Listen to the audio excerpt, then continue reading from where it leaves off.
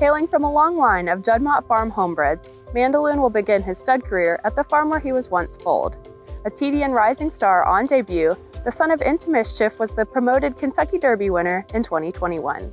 We talked to Aaron West about Juddmonte's new addition.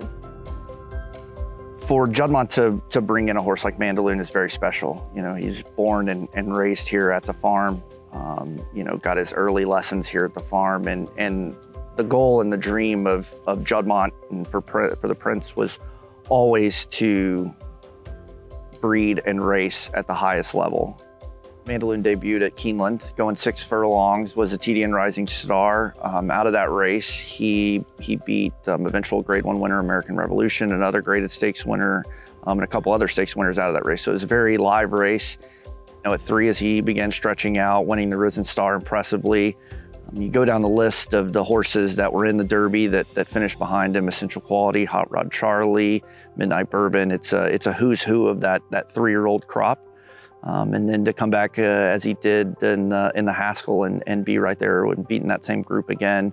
He was very sound throughout his career, very straightforward, um, easy to train, and still to this day, very easy to be around at, at the barn. He's, he's, a very classy, um, classy individual.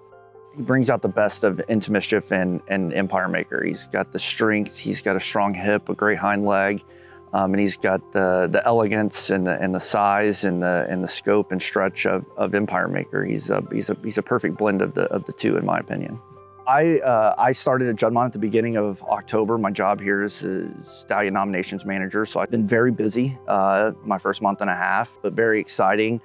Mandaloun's a very cool horse to me because I was at Keeneland today, broke his maiden, and um, got to see him run there. He was a horse I followed all the way through. So it's very exciting to get to now represent him in, in this you know next step in his career. Mandaloun's pedigree is, is unique for us in that um, it's 11 generations of black type horses. Um, and in the first four generations on his female side, it's uh, Juddmonte mare to a Juddmonte stallion, all the way up to his dam. Prince Khalid bought um, a mare named Queen of Song, who's a half-sister to Cormorant, who was the sire of Go for Gin. So it's a classic dirt pedigree all the way back to the to the fourth generation. And, and Mandaloun is 40 years of work. Um, and there have been plenty of other horses along the way, but to, to have a classic winning son here that's a homebred is, you know, always been the, the, the, the dream here for Juddmonte.